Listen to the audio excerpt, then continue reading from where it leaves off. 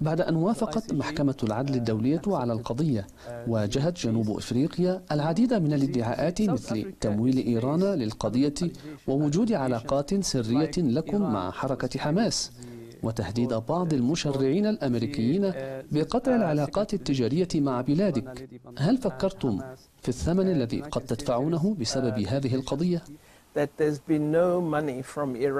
لم تصلنا أموال من إيران للمساعدة في هذه القضية ولا من أي دولة أخرى. كما أنني لا أرتبط بحماس كما يزعم. لقد قلت علنا إن الأوغاد يستخدمون الإهانات كملاذ أخير لهم عندما لا يكون لديهم إجابات فيقومون بمحاولة وصمك. لذلك كانت هناك محاولات لوصمي بأنني أرتبط بحماس وبتلقي الأوامر من إيران.